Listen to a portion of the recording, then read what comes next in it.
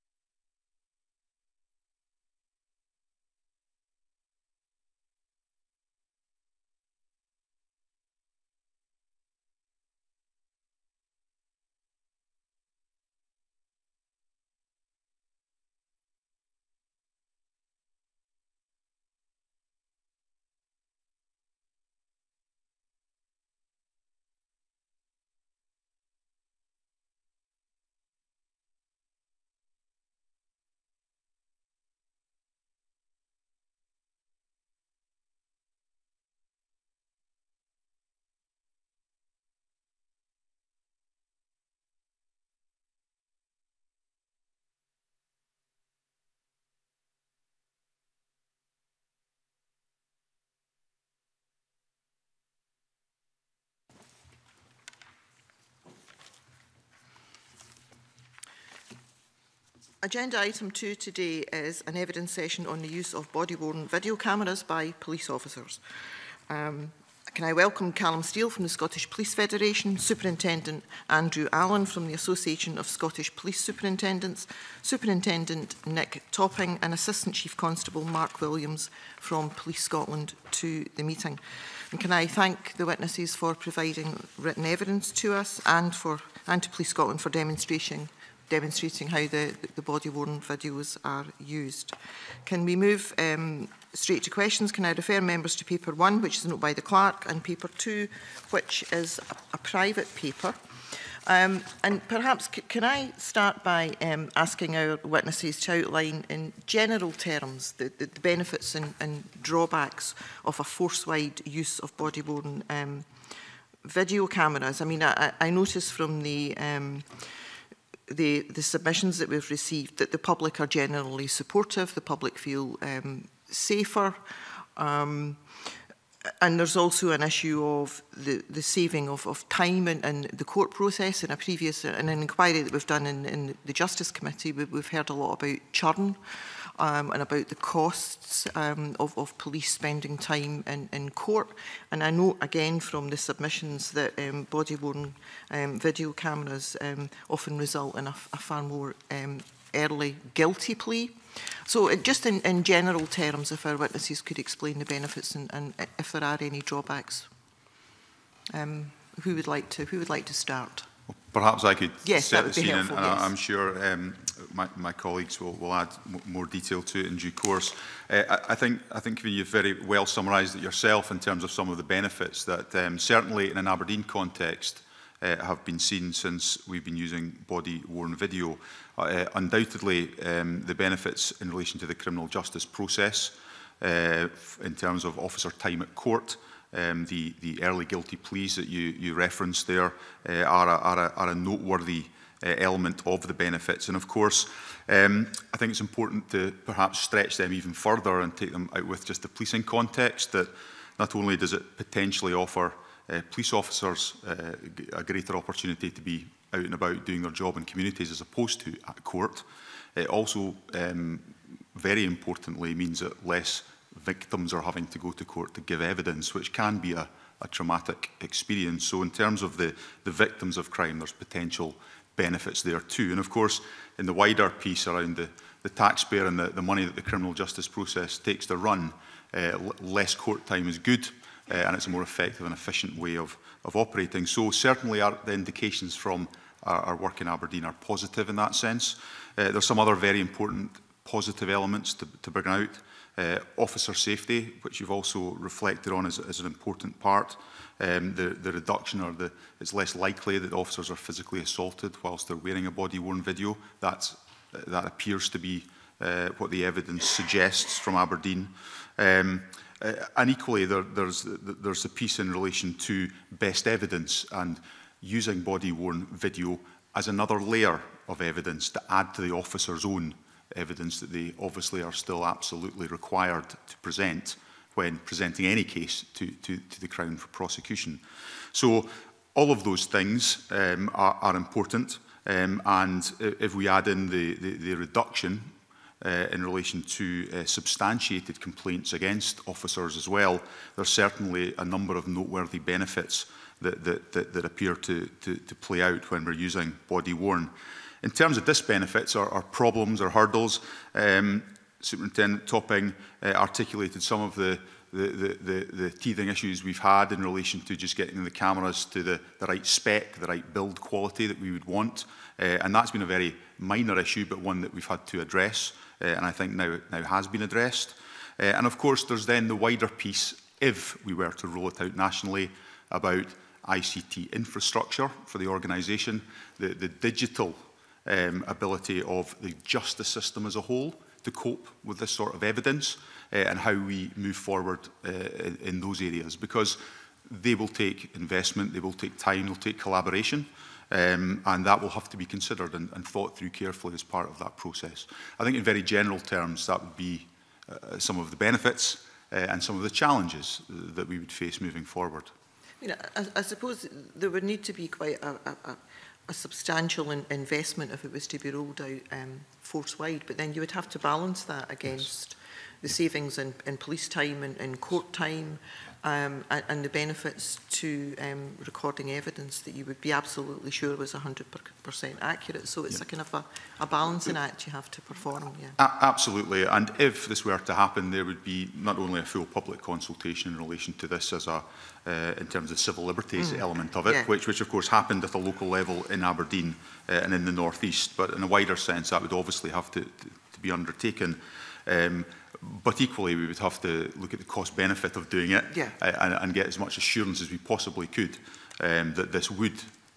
pay dividends, uh, not just financially, but in terms of trust and confidence of the public, the criminal justice system and its, a, uh, its efficiency, the benefit of, of, of the evidence that it provides and its quality. All of that would have to be taken into account because uh, I, I dare say it wouldn't just be pounds, shillings and pence uh, that we would want to measure. we'd want to measure other things too and that would include public trust and confidence. Okay.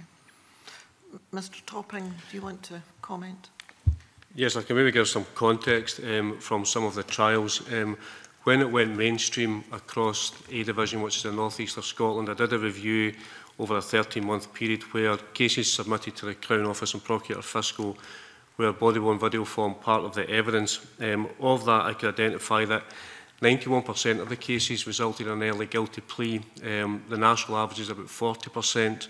Another important aspect is that um, 51% were at first calling. Now, for a police officer, that means that there's less requirement to submit paperwork in relation to full statements. So there's a time saving there. Uh, the national average is 31%. And also as important, 697 officers were not required to attend court uh, to give evidence um, which can normally be their full duty. So firstly, from a well-being point of view, that means that officers aren't having days cancelled or shifts changed to attend court. And as importantly, that's officers that are left working within the local community. Um, so that was an important aspect. And again, um, 453 civilian witnesses were not required to attend court.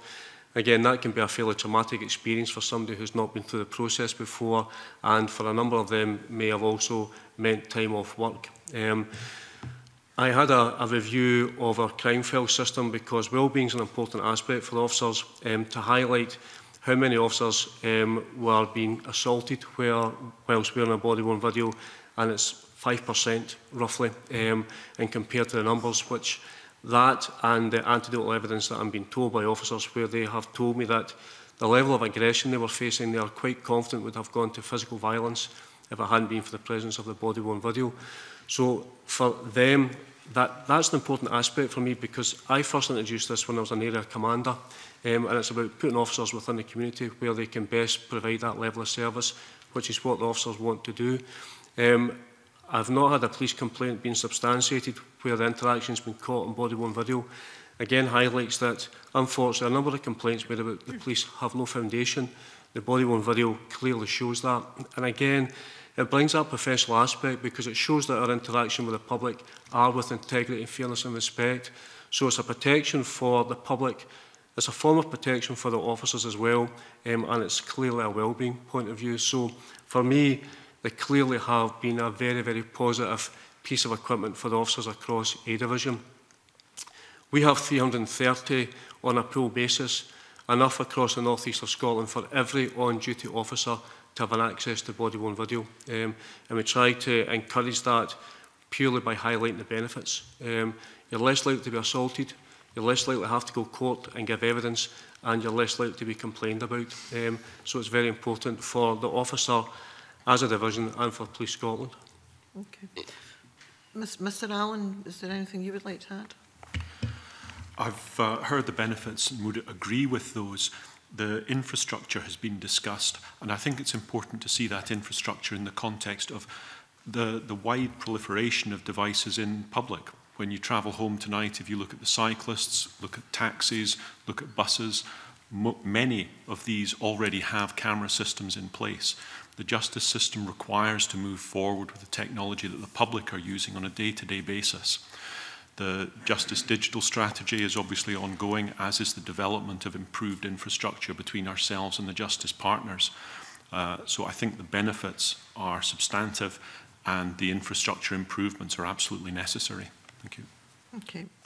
Callum, is there anything you want to add? I think, in fairness, in fairness to those that have gone before, convener, I would agree with uh, everything that's been said, and I know that that's not something I see often at this forum.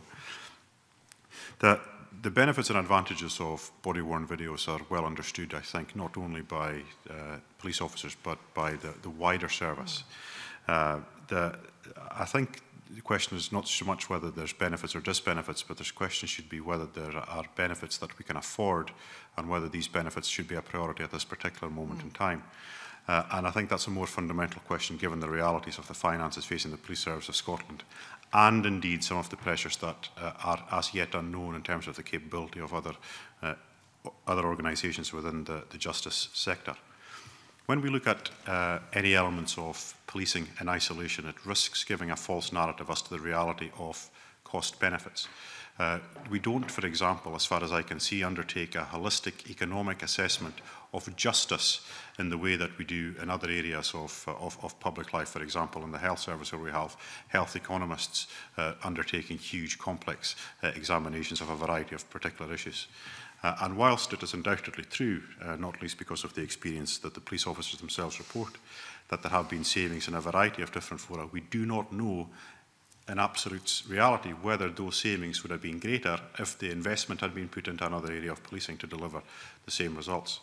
The, the benefits for individual officers in terms of uh, their confidence uh, in how they uh, in how they record information, of course, is, uh, is something that cannot be underplayed in any way, shape, or form. Uh, Uh, but given an organisation just now that is looking at a £200 million overspend, according to Audit Scotland, uh, over the lifetime of this Parliament, is already facing a huge budget hole uh, this financial year. Uh, and uh, whilst I don't want to get into that element of it, mm. um, we do know that uh, experience from across the rest of the world is, is that once you start along the body-worn camera path, you're never getting off it.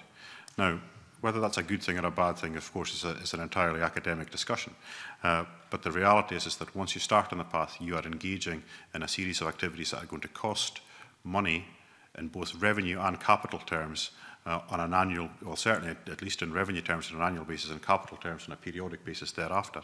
Uh, and thus far, in the entire conversation and debate and discussions around about body-worn videos, no one is talking about those ongoing revenue costs.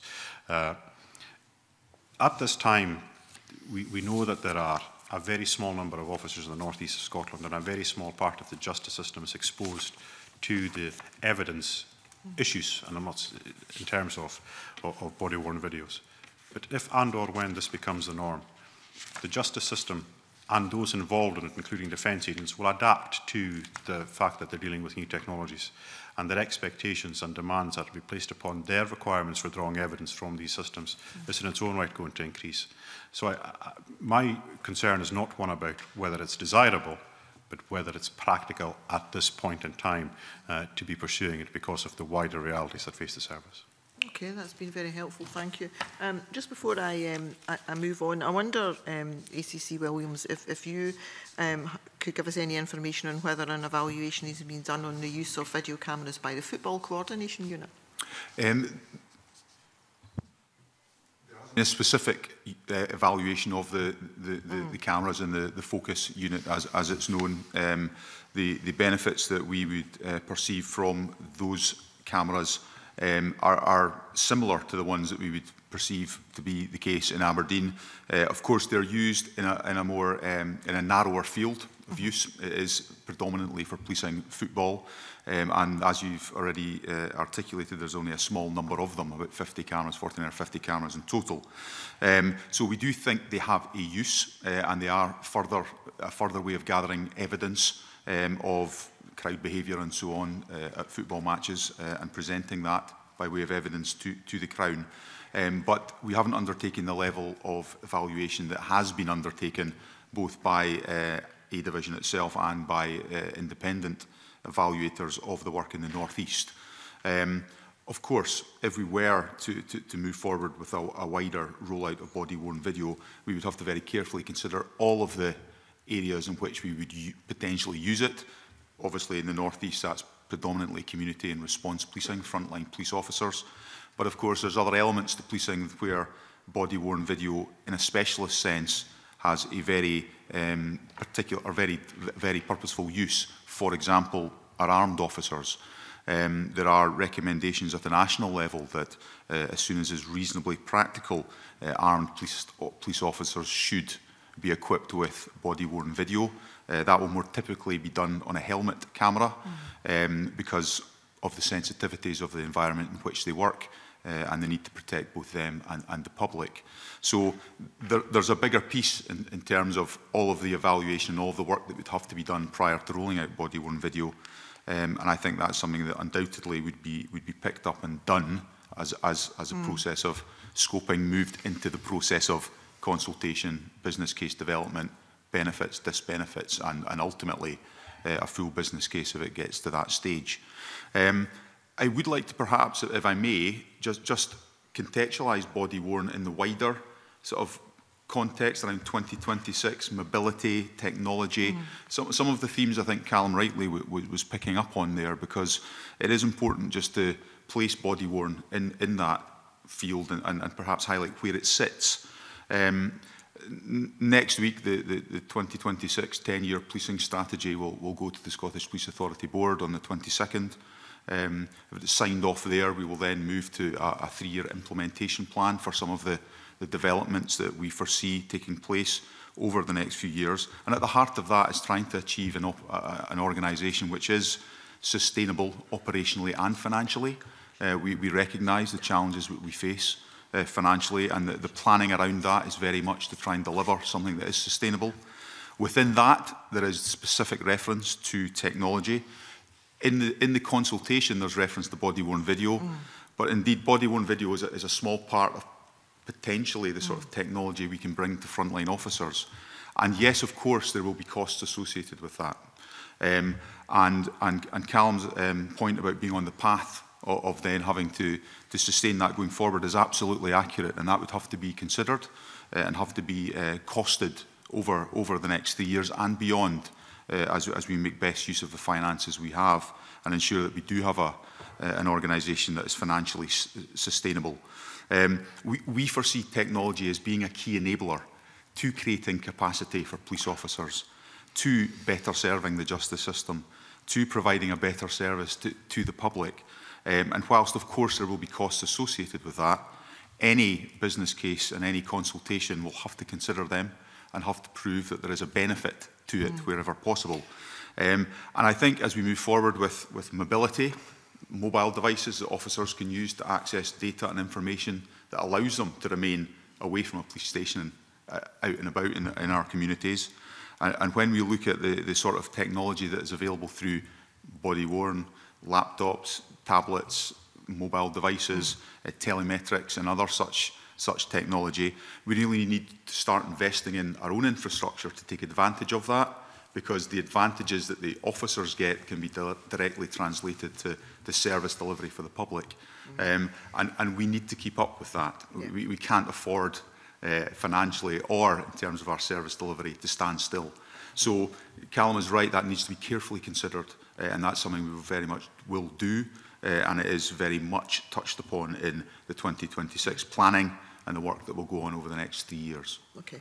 Um, I have a, a couple of supplementaries, but I, I just wanted to ask you, in context of, of using the body-worn cameras, specifically in, in the, the sphere of football, if it's on a one-to-one, -one, um, you can explain to the, the, or the officer can explain to the person that has been stopped that they have a camera they are about to start recording if body-worn video cameras were to be used in the context of a football match, specifically for, for crowd control or for viewing a crowd, you would have a serious issue about um, explaining to any number of people that you were going to be recording them and the issue of, of, of data retention um, certainly comes into mind and I know other um, other members will raise that so I'm going to kind of throw that out there and when data's raised you can maybe come back all, all, all our data is, is retained and managed and dealt with under legislation mm -hmm. so any data that is not used as evidence is deleted and destroyed within within, within okay. the, the, the fixed period of time um, in, um, in terms of CCTV in a mm-hmm. wider mm -hmm. sense which is what body-worn video yeah. is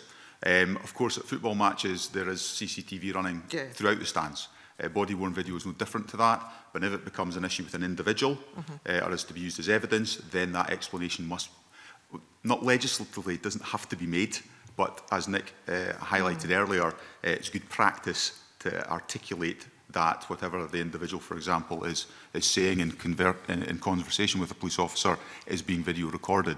So when you're at a football match or, or walking down the high street in the capital or elsewhere, you are on CCTV and there's not a specific individual warning to every person. It is, it is covered by signage and, and by, other, by other warnings of that nature uh, on the entry and exit to, to for example, a sporting stadium. Okay. Um, I've got a couple of sup supplementaries. Um, ben first and then John. And if you could move on to your substantive point after that, Ben. Thank you, Convener. So around the, the, the same theme, uh, uh, to, to Mary Fee's question, what capacity and potential do you think there is here for the use of the, the devices within slow time inquiries? And uh, and further to that, what that uh, has there been any evidence of the, the, the deterrent factor in terms of uh, the, uh, the occurrence of crime uh, when, these, uh, when there's been an awareness in communities that these devices have been deployed? I can, I can give you one actually specific example about a protracted inquiry. Um, there, was a, there was a robbery at a newsagent's um, in Aberdeen um, where the assailant had his face covered but was wearing distinctive clothing. And as part of the wider inquiry, um, there was a harvest of CCTV um, from um, the public space CCTV and the body-worn video. Um, and the body-worn video actually captured that individual involved in something completely different, quite distinctive clothing, but the face unmarked, and that led to a detection, uh, and somebody was reported for a, a robbery at a news agents, um, which was important.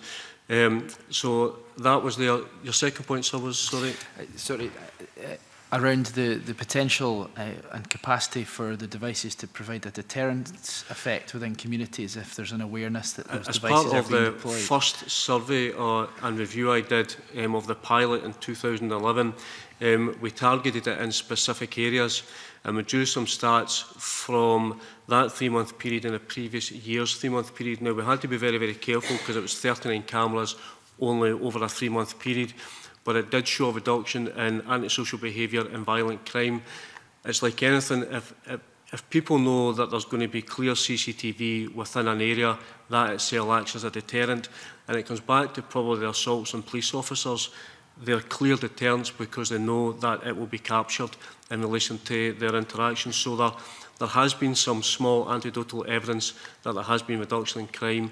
Um, crime continues to fall, as we, as we know, um, so there's not been a wider scale specific drill down um, in relation to wider use because it's at officers' discretion across the northeast of Scotland. So it would be quite a difficult survey to carry out, but that small three-month period specifically within some communities within Aberdeen and Aberdeen city centre itself highlight the reduction in crime. Thank you. Thank you. Yeah, I'll, I'll just roll them together, yeah. uh, Convener. Um, it's, it's a question for Mr Steele about your submission, um, both in your written evidence and um, e, earlier, Mr Steele, you, you did recognise the, the benefits that are associated with this, but uh, um, to my mind, this would be a substantive change in the workplace, and, and in, in your evidence you talk about the SPF is not cited in the work or aware of any issues under consideration with regard to 2026. That's very alarming. Can you expand on that, please? Yeah, I think it's important to uh, put this in, uh, in complete context. When the Grampian project was uh, undertaken, both in terms of pilot and the, and the wider substantive rollout, the then Grampian Joint Branch Board of the Scottish Police Federation was heavily involved in the consultation uh, for that and uh, uh, through, uh, through its offices uh, offered support and raised a number of di uh, different issues which uh, the then Grampian Police uh, gave consideration to. Uh, in responding to the request for evidence, the letter from the clerk from this committee made clear that this was in response to scoping work that the Police Service of Scotland was undertaking in respect of body-worn body worn cameras as part of the 2026 strategy. What I said in, the, I think, one of the first sentences of the response was, we're not aware of what that scoping work is. Uh, we know that it's mentioned within the 2026 strategy as one of the, uh, one of the many elements of it. But beyond that, we've had no uh, communications with the service about that particular issue.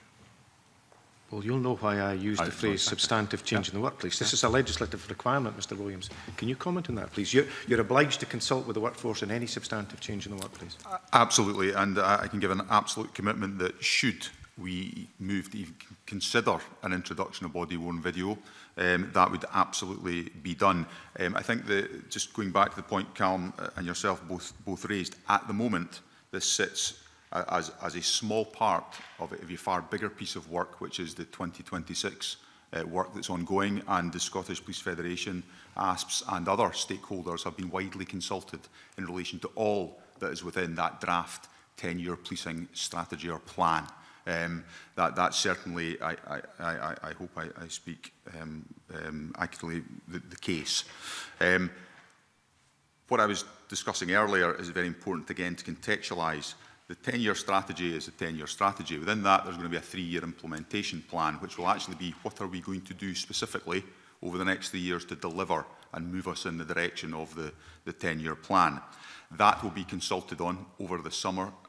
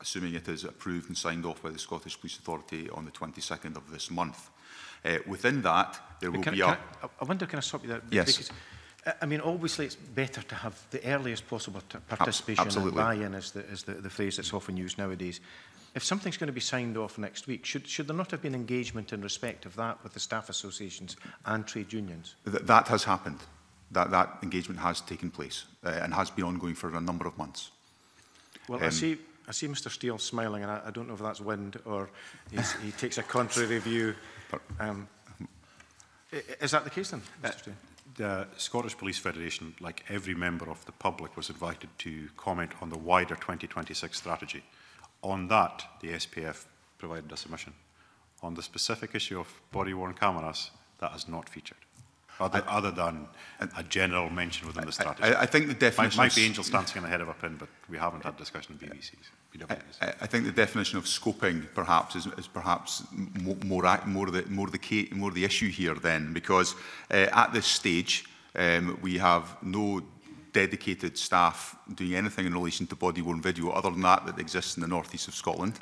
Uh, what we do have and what we are building is a team that will work through the next three years to, to introduce mobility in the wider sense before we even get to thinking about bits of camera equipment that will be on the front of police officers, we need to get our ICT infrastructure, our core operating policing systems in, in, in hand and in, and in place. Uh, that is a substantial piece of work that will require substantial investment. That investment is being planned and will start this year. Um, once that has developed, we will be in a place to consider what equipment like body-worn video we might be able to make best use of in the future to, uh, with, a, with an infrastructure that will, will sustain it and support it. That is not the case at the moment, other than a very localised area of the northeast of Scotland. So we are not nearly at the point of considering purchasing body-worn video en masse. Um, we are in the position now where we are preparing the organisation for the next 10 years, for the next three years, and importantly, right now to get our ICT infrastructure up and running in a more solid place, in a reliable place, in a place that will allow us to take advantage of technology in the future. And that will be the point at which we start a consultation both internally and externally with what that might look like in terms of the actual hardware. Okay, thank you. That, that's very reassuring. I don't think we need to rake over the calls of I6, but clearly there's no point in having another dimension to policing if there isn't the support back at, uh, at base. Can, can I ask that the cynic in me goes that um, any automation can be seen as an opportunity by any cynical managers that may about or, or accountants. So would it be better to deploy two police officers without body-worn camera or one with? We are in a position where we need to have a sustainable financial and operational uh, police service. That is very much what we are trying to do. Body-worn video is not an alternative to police officers. It is an asset that police officers use. Uh, it's about obviously protecting both them and the public and ensuring we have the best evidence with which to which to, which to pursue criminals. Um, so um, the, the cost benefits would be something we would take account of and obviously have to articulate very clearly. Um, But I think police officers require technology moving forward to do their job as effectively as possible. Body worn is one potential element of that, not the only one. Um, and first and foremost, we need to give them, uh, uh as you've pointed out already, um, solid day in, day out computing and infrastructure that allows them to do their job. We then look to the future in terms of what we can build on to that and how we can improve that further by way of any digital strategy, not just with the police service, but, but with the criminal justice partners as well. Okay, two very quick questions, if I may, convener. Um, officer safety will be paramount,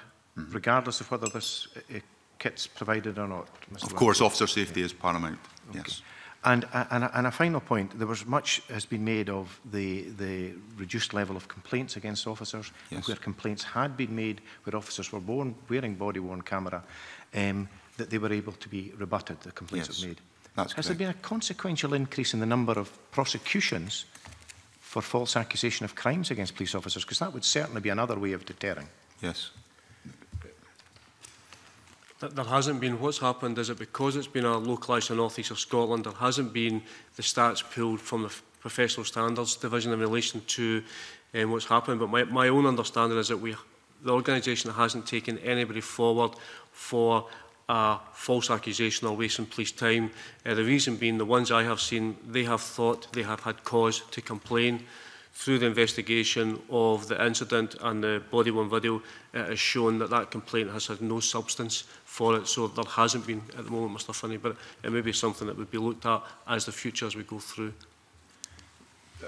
Interestingly um, I'm aware from, from forces elsewhere in the UK that there are some, there's some interesting statistics that, that, that present themselves when body worn is used.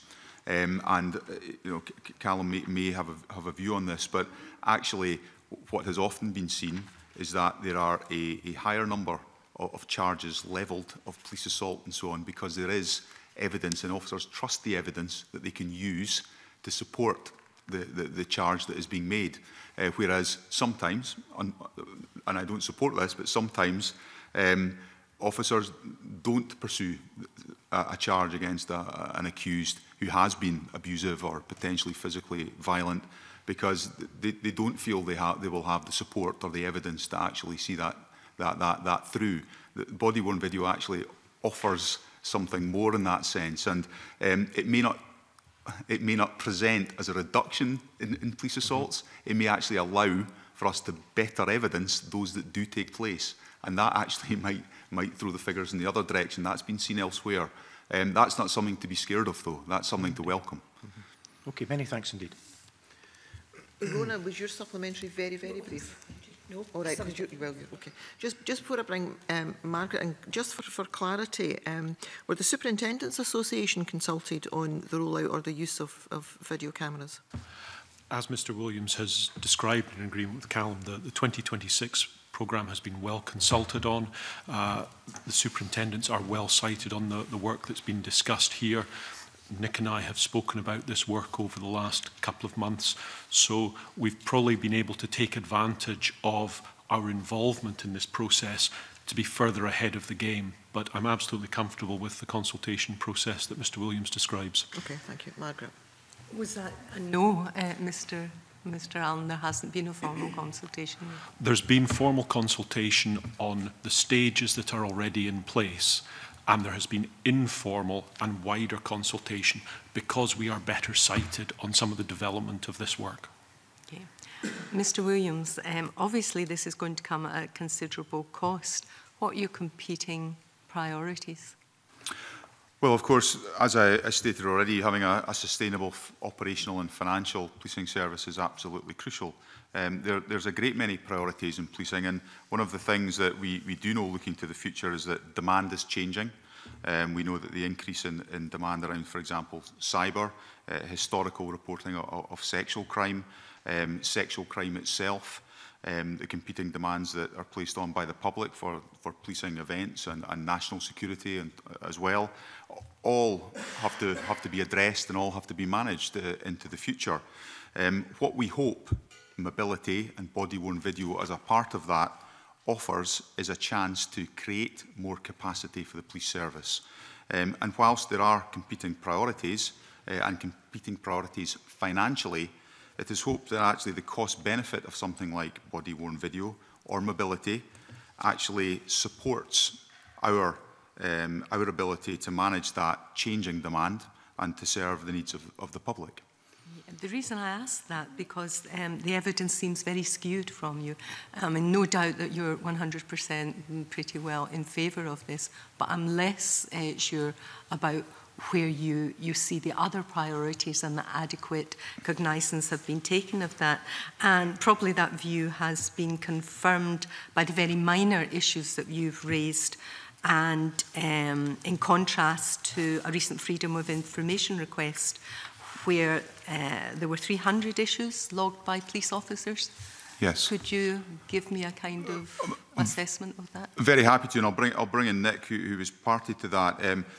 um, I think in, in context, the, the, the cameras are ultimately a very reliable piece of equipment, and that's my, the one thing I want to stress, and that has been borne out across numerous police, police organisations across not just the UK, The number of faults that were reported um, were, were, were minor and are in context of hundreds of thousands of deployments of the camera, a tiny number.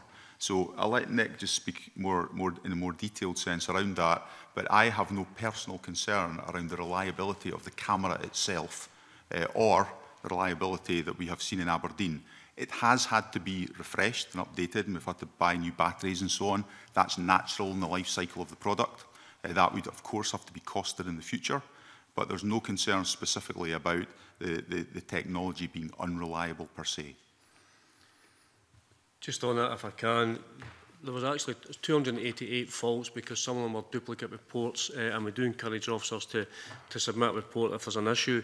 Um, we don't keep a record of how many times the body-worn video cameras are deployed, but even on a, a 50% deployment of the 330 cameras we have, That's over 180,000 a year.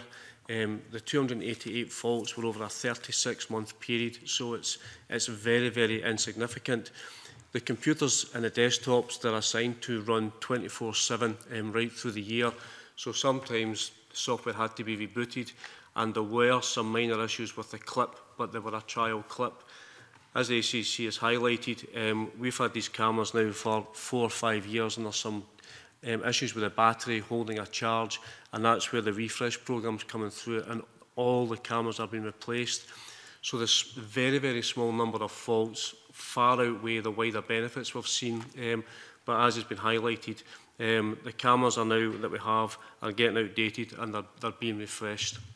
Isn't that a problem in itself? Technology moves on so regularly, these plans. I mean, we had a demonstration for five minutes, and already we were looking at a new model to replace the, the one yeah. that had been there.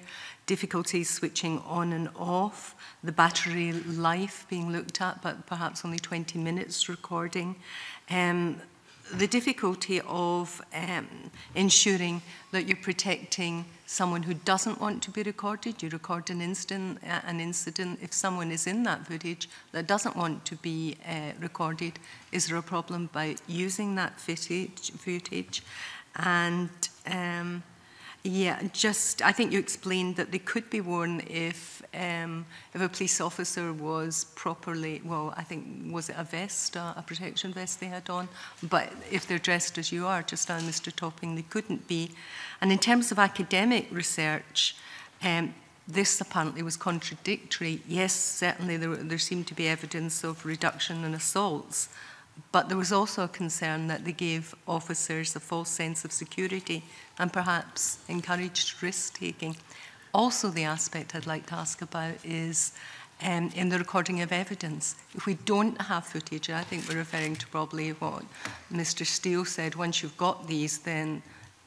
they really have to, to keep going, using them, replacing them.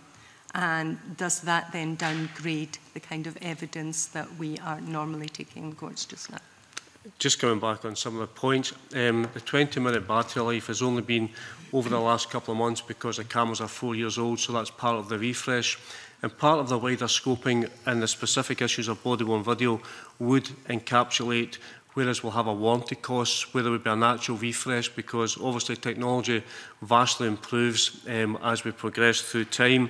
Um, in relation to the wearing of it, for instance, with myself, I wouldn't deploy operationally like this um, because of not having officer safety equipment. It's a requirement to have it, so I therefore would be able to carry the body-worn video um, if I was out and about um, on my vest. Um, In relation to some people not wanting to be recorded, um, officers are normally invited into a house because somebody has wanted to report a crime or under a legal requirement because there's an ongoing disturbance. Um, we have usually found that people who don't want to be recorded are the people that we're specifically looking at because they're committing a crime. So again, in fairness to all, it captures that interaction. So not only does it protect the officer, it actually protects a member of the public. Or what we've found, there's been a lot of academic um, evidence. Domestic abuse is a very good example where if we're called to house, one member may be a victim, one member may be the assailant. The assailant may not want it recorded, but it's clearly of a benefit for the victim and for the wider criminal justice. All this has to be taken in context, and the final result would be what is legally submissible, and that is where the challenge would come, because we just present the evidence to the court and it would be for the court to decide what they actually want to take as evidence. And if a member of the public or a victim of crime has an issue about that body-worn video footage being used, that would come through the defence or the procurator fiscal. Because we don't store any footage um, beyond 28 days if it's not going to be used for court purposes because under ECHR we have to justify why we hold the footage. So if it's not of evidential value, we don't keep the footage, it automatically deletes after 28 days, unless we think there may be a, a police complaint where we would retain it slightly longer, but we do not routinely hold the footage at all, unless it's for uh, evidential purposes. And so that would be competing with um, maybe police notes? Yeah, that, this is the body-worn video is to supplement evidence. It doesn't replace the use of notebooks. It doesn't replace corroboration, although corroboration comes from any forms, and it doesn't replace the police officer's account of actually what's happened. It's just further evidence um, to show. And another example would be the body-worn video might not capture fully and focus what has happened, um, but it will pick up the sound. So you have that facility where it, it might actually only be able to record verbally because if I am dealing with a member of the public um, and there's an ongoing disturbance or there's a wider disturbance, we won't capture it all, but it's just additional evidence to what is then given as a legal account by the officers through verbally and as part of the police statements. Okay. Any other comments on that long list of things that were written? No, no only perhaps add, and it's, it's in the written evidence we submitted, there are seven guiding principles for the use of body-worn video that, uh, and, and principle four is that the operational use of it must be proportionate, legitimate and necessary and that ACHR, you know, obviously uh, is the lens through which that is, that is assessed and, and officers are responsible in terms of their judgment and their use of it for, for that uh, as they are day in, day out for, for lots of decisions th eh, uh, that they take. So those seven guiding principles which are laid out there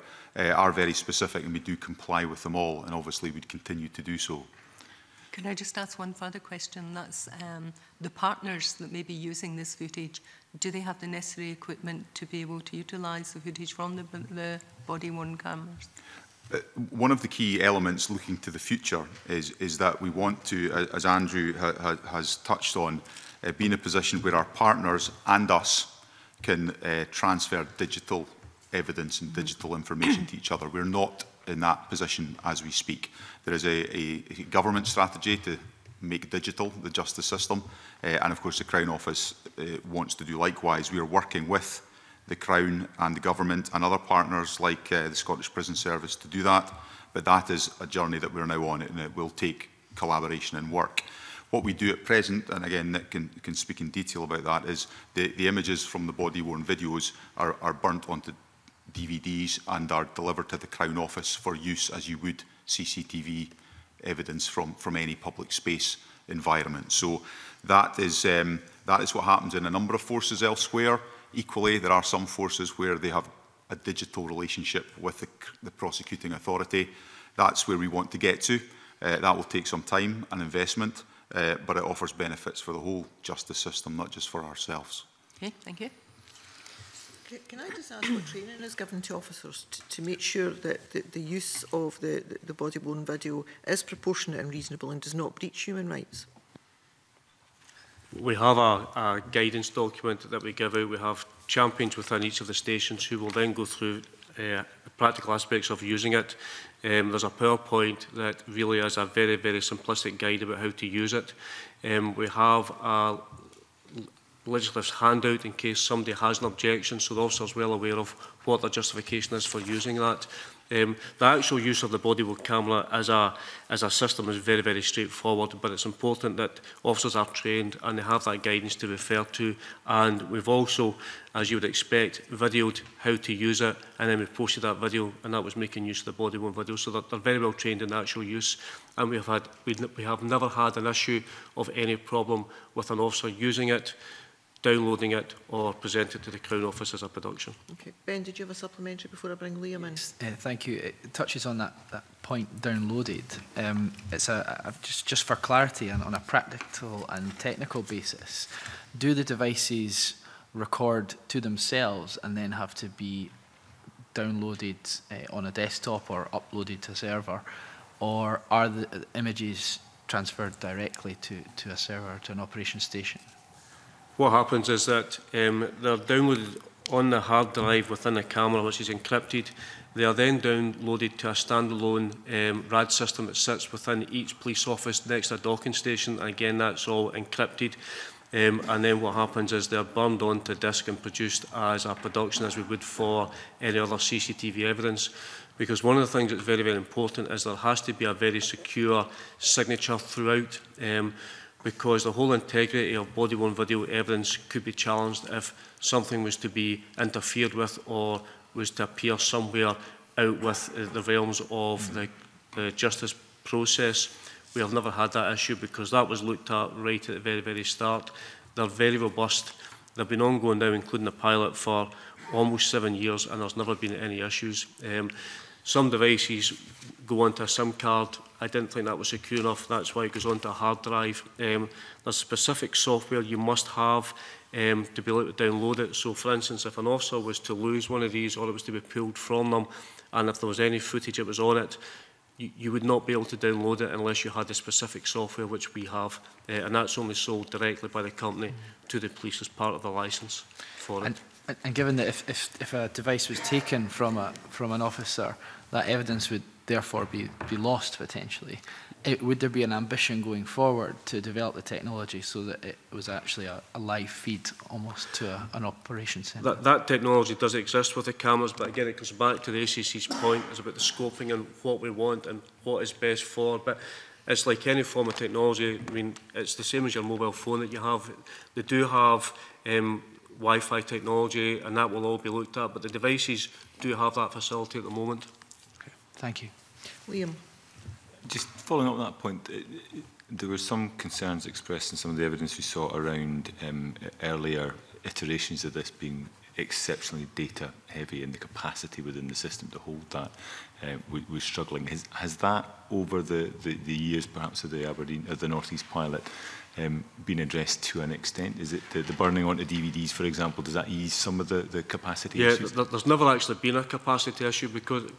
because, as I mentioned before, we actually have to justify more why we retain it. So it's only for evidence, but once it's burnt to disk and then submitted to the fiscal, it's part of the criminal process, so we don't have to hold that.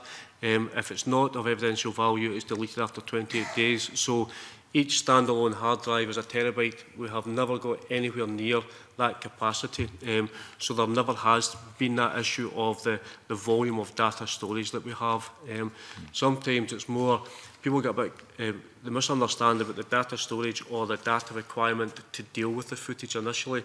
Um, so that there's never been an issue with that at all. I, I'm, I'm reassured by what you were saying in terms of the 28-day um, retention policy, because I think when we took evidence um, uh, previously on, on uh, matters relating to, to, to RIPA, uh, I think there was some anxiety within the committee about a, a, a six-year period, and in a sense, that was the length of time that was allowed, and, and, uh, and it just ran its course, as opposed to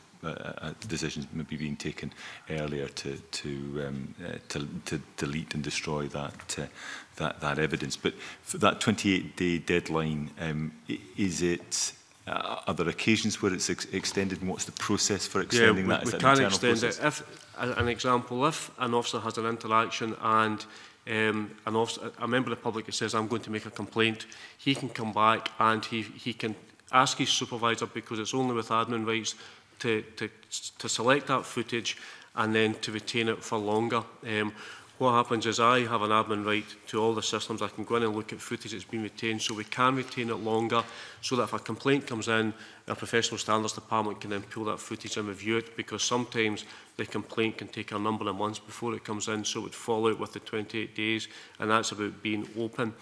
Because a point as well in relation to the earlier question about security, Officers don't have access to view any footage that's downloaded. They can only view their own footage, and it's part of the security signature that goes throughout. As an admin user, I can view the footage and I can look at what is there and why it's been retained, and we do ask intrusive questions. Okay. A couple of other um, brief questions, if I can. Uh, the issue of cost has come up um, uh, quite a bit over the course of, of this afternoon's session. I, I notice in um, the submission uh, put in by yourselves, Mr Allen, that um, it, it, it talks about considerations. Um, I mean, its conclusion is that I uh, mean, be cautious about the overall ongoing costs associated with the general rollout. And then more specifically, it talks about data storage, uh, quoting um, figures from a uh, New York Times article from January 2017 estimating the ongoing costs of equipment maintenance and data storage in the region of um, 20 to 40 US dollars per officer per month, depending on the number of um, recordings made. I, I, I don't know whether you can sketch that out any any further and, and whether there's been work done at this stage to try and quantify the overall costs. I, I suspect there are, because there'll be various options that might be pursued, there won't be a single figure. But uh, are you able to give us some indication of the, the sorts of order of magnitude, the costs that different options um, are likely to, to bring with them?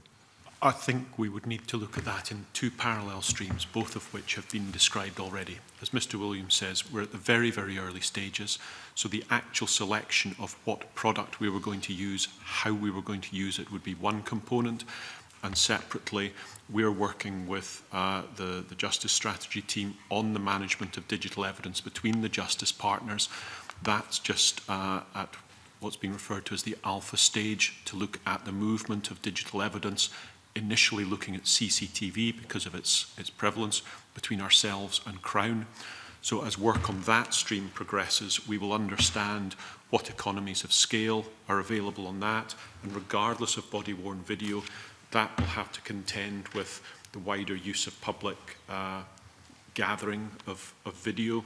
It'll have to look at the evidence procedure work about increased videoing of victim and child witness evidence. So regardless of what we as a service do, the volume of digital evidence is increasing significantly and we have to understand and manage that and that should deliver economies of scale to the benefit of the product and usage selection that is the parallel work stream. But in simplest answer, there is no precise number at the moment that I could give with any confidence. Mm. I think as, as Andrew has articulated, uh, some of these early, as he said, alpha tests they're called. I, I, am no expert on the sort of project management terminology, but that, that, that is uh, what it is known as, which will move information between ourselves and the Crown digitally. Will start to allow us to cost what that looks like, and then consider how that might expand, obviously, in a wider in a wider setting. Um, I've I've spoken at length with um, our director of ICT. He sits on the the Digital Direction Group, as it's known, with government, with, with the court service and with the Crown and others, uh, and they are overseeing that, that work. And uh, in truth, in a policing, policing context, um, whilst obviously there is a cost with the storage of, of data, cloud-based or, or otherwise, um, the, the, the more significant cost that we will have to um, assess uh, and make, uh, make a business case for is actually how you, you manage the information and manage the data, the, the, the evidence itself, how it is stored, administered, clipped, kept, how we provide it for frontline officers, how it forms part of the bigger prize, which is giving officers information on the street when they're out working.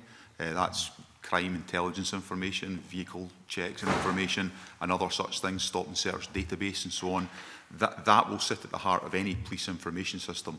That, that is what is required to enable a lot of the other technology and actually requires far, far closer scrutiny at this stage around cost to enable things like body worn to work.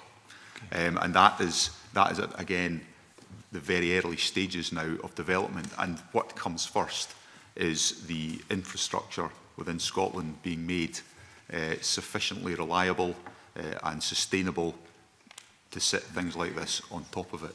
Um, I, I'm, I'm no ICT expert, but uh, you know the, the, the, that is the case at this stage, and that work is now is now starting.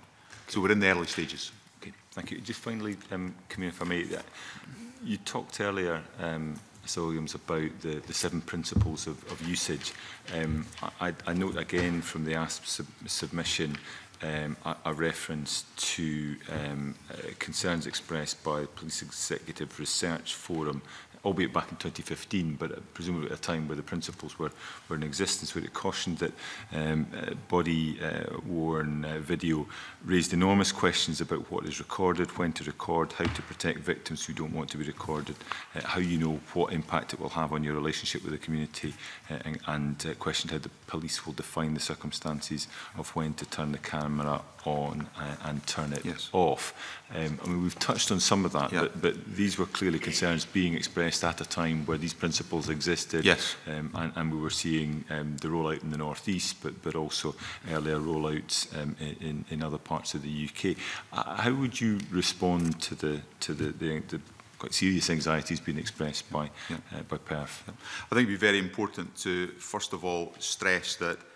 before there was any rollout, if it were to happen, that the public and the public consultation uh, and ensuring that the public fully understood what we were proposing was at the heart of any development that we were undertaking and that would absolutely be the case and I would make that commitment uh, here today. So we would be very, very careful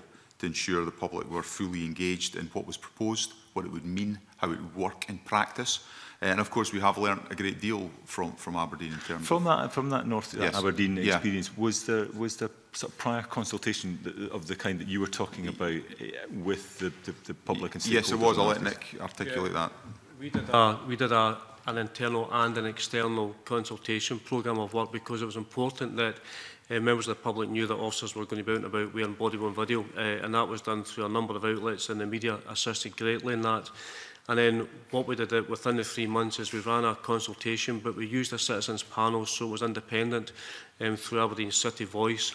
And they went through a questionnaire through 1,000 householders, and we also separately um, sent out a questionnaire to all locally elected um, key individuals and key networks within the Aberdeen area because it was important we had the feedback and um, a vast majority supported, 76 percent supported it, 0.1 didn't. The rest were neutral in their views.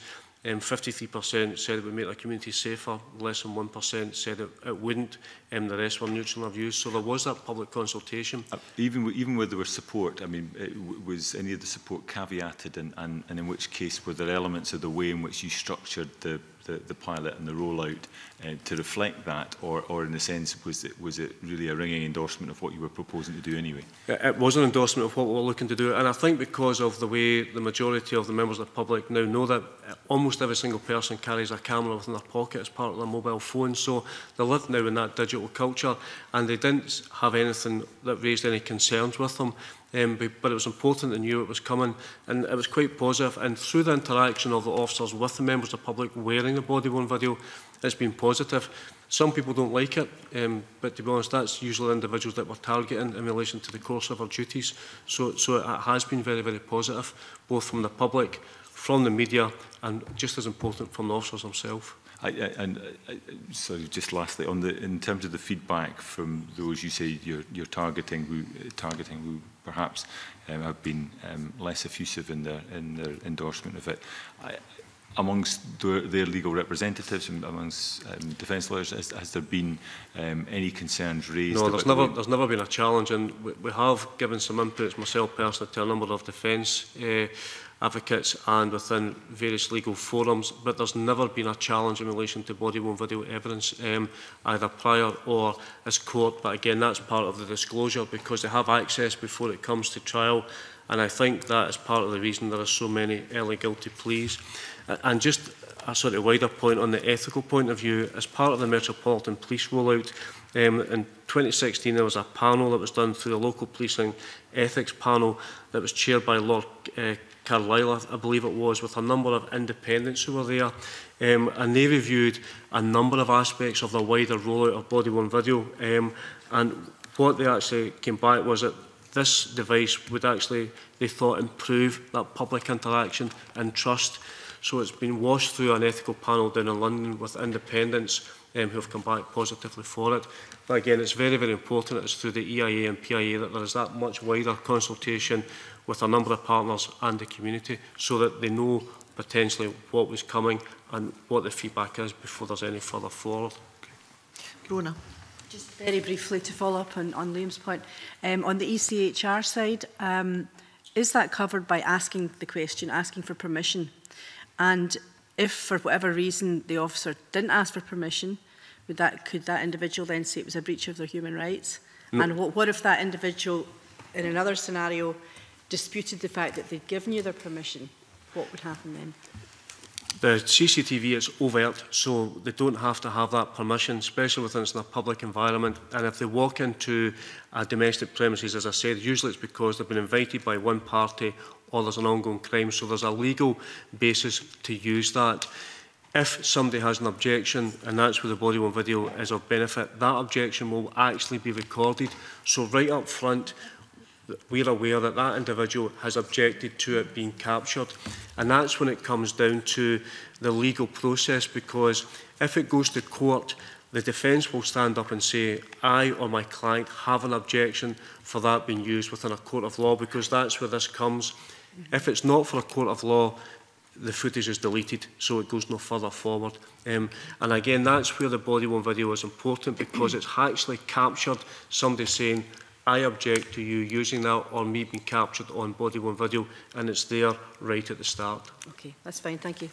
Do you have a very brief supplementary, John? Very, mm, very, eh, very eh, brief. Convener, thanks. And it is about, uh, all the members have talked about uh, the prevalence of members of the public carrying about bits of equipment. Have any members of the public said, well, I'll film you, and, and what would the response be if that were the request? We, we are filmed uh, routinely, um, day in, day out. Um, the police service is one of the few services that isn't filming other people. um, we are filmed uh, regularly. Um, officers are filmed regularly when dealing with incidents. Um, that is something that they, um, they deal with in the course of their duties. And of course, sometimes, uh, and sadly, we, we need to call on that evidence because the, the incident may be of such significance or, or so serious that the evidence of, is, of, is of use uh, in us uh, pursuing or prosecuting uh, the case. Um, and that's, that's often sadly been the case in relation to national security issues over, over recent months. Um, so I think um, it's part and parcel of a, of a police officer's life uh, and many other public servants' life that um, members of the public film everything that is going on, including their interactions. Okay, thank you very much indeed. Mm -hmm. There are um, a couple of further issues that um, we, we may need further clarification on, but we will, the committee will write to you because unfortunately we have um, ran out of um, time today. So can I thank all of our witnesses for coming along and for the evidence that they have um, given us. Um, and we will now move into private session. The next subcommittee meeting will be on Thursday the 22nd of June when we will hear from Derek Penman, Her Majesty's Inspector of Constabulary, on his report on the governance of the SPA. And will suspend briefly allow our witnesses to leave.